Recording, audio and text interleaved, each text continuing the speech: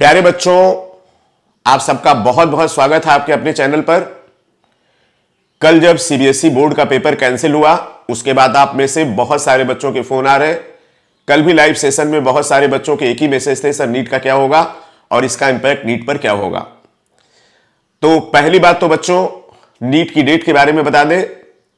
अगर हम maximum date ले रहे वैसे तो 10 है, अगर 15 तारीख तक नीट का फॉर्म नहीं आता तो फिर नीट की डेट पोस्टपोन हो सकती है।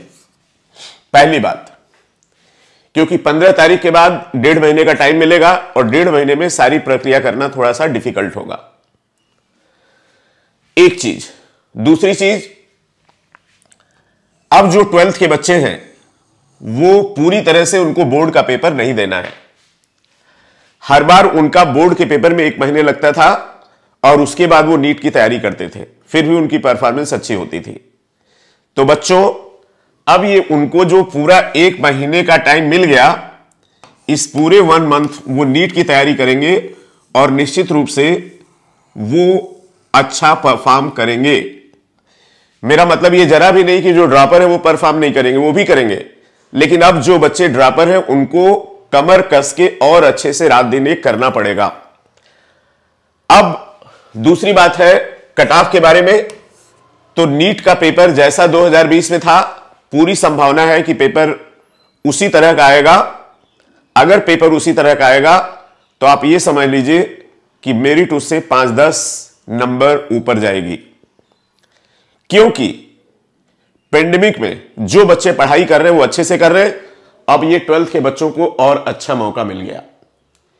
एक बात बच्चों और बताना चाहेंगे आपको कि आप जरा भी रिलैक्स मत होइए और अपनी तैयारी और अच्छे से शुरू कर दीजिए। और बल्कि हम तो कहते हैं इस वीडियो के बाद इसी मोमेंट से शुरू कर दीजिए।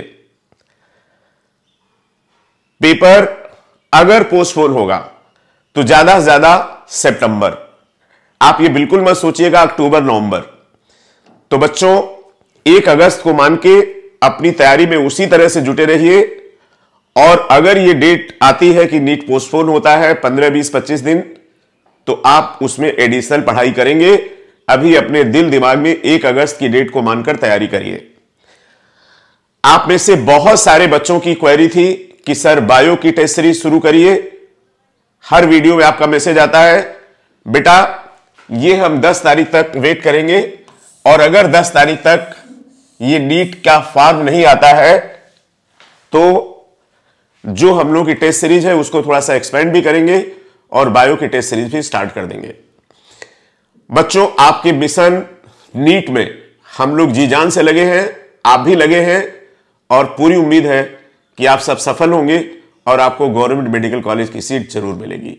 थैंक यू सो मच बच्चों फॉर वॉचिंग द वीडियो अच्छे से पढ़ाई करिए और और भी कुछ हम लोग कर सकते हैं तो इस वीडियो सेक्शन में कमेंट ज़रूर करिएगा।